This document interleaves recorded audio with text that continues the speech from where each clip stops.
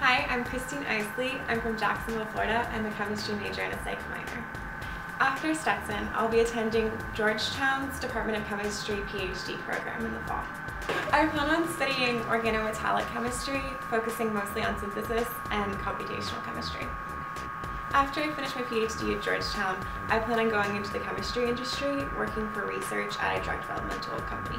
What's really prepared me for Georgetown is doing research. I've been able to do graduate level research at an undergraduate institution, which has really been helpful to give me a leg up above other people in undergraduate school. In addition, having my resume looked over by the Career and Professional Development Department has really helped, my, helped me fine-tune my resume.